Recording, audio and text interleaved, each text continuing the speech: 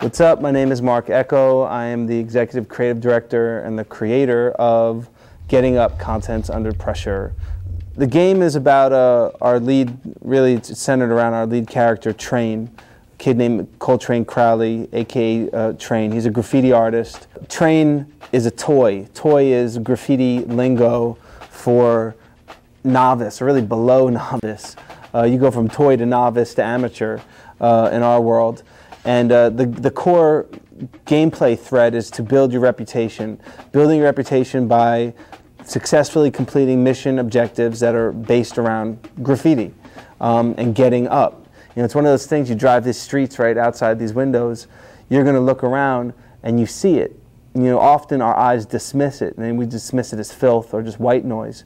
You know, but there's a person behind all, all those things. What's the motivation? I really wanted to get into the head of that a fame that you can't buy, a fame that a person can't make for you. All right, I'm Chem One, Fly ID crew. This is um, one of my pieces in San Francisco, California. I have kind of like the Bronx style or New York style. Painted this wall with a lot of other heads.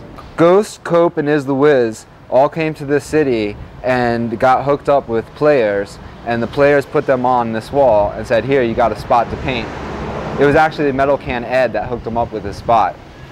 And then I came, then I came with HTK because they said, yo, you gotta do a piece on this wall too. I mean, only the real players are on this wall. Cope's on this wall, and I'm on this motherfucking wall. Word up. Some of these guys are in the getting up game. In the game, Ghost and Cope are two writers that teach you how to get up.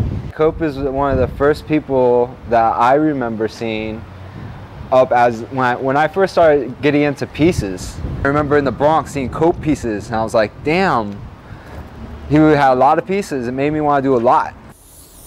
Let's go bombing. Let's go bombing.